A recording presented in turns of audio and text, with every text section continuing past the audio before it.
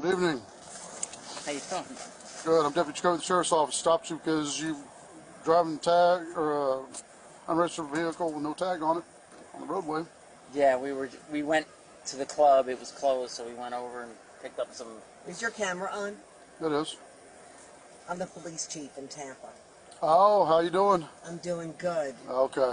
I'm hoping that you'll just let us go tonight. Ah, okay. Yeah, I'll say you. Uh, now that you say I, I, you look familiar. So, Yeah, I'm, I'm sure I do. all right then, we'll take care. And uh, it was nice meeting you. All right. Oh, all right. You ever need anything, call me. Okay. Serious. All right.